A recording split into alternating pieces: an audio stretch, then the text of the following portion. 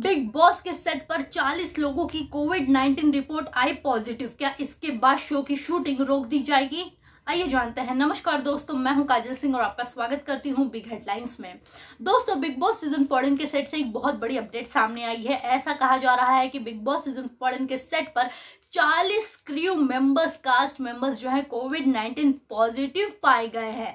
सबका Covid test किया गया, जिसके बाद 40 लोगों की रिपोर्ट जो है पॉजिटिव आई है। अब ऐसे में क्या बिग बॉस सीज़न फोर्टीन की शूटिंग रुक जाएगी तो मैं आपको बता दूँ, ऐसा कुछ नहीं होगा। जिनकी रिपोर्ट भी पॉजिटिव आई है कोविड नाइन्टीन पॉजिटिव आई है, उन लोगों को क्वारंटाइन करके रखा गया है और उनका ट्रीटमेंट चल रहा है। उन सभी को मेडिसिन दी जा रही है और आपको मैं बता दूँ कि आज से बिग बॉस सीज़न फोर्टीन की शूटिंग शुरू हो जाएगी। और तीन तारीख को आप ग्रैंड प्रीमियम देखने के लिए तैयार हो जाइए। इसी के साथ साथ मैं आपको ये भी बताना चाहती हूँ कि बिग बॉस सीज़न फोर्टीन इस बार बहुत धमाकेदार होने वाला है, क्योंकि एक से बढ़कर एक महारथी इस बार शो में आने वाले हैं। वेल ऐसे में कोविड का ये कहर घर तक न पहुँच जाए, इसके लिए पूरी सेफ्टी मेज़रमेंट प्रिकॉशन सब कुछ लिए जा रहे हैं ताकि ये कोरोना का कहर जो है बिग बॉस पे भारी ना पड़ जाए। तो दोस्तों कमेंट सेक्शन में कमेंट करके बताइए, आप कितने एक्साइटेड हैं बिग बॉस सीज़न फोर्टीन के लिए? क्योंकि सिर्फ़ दो ही दिन रह गए हैं।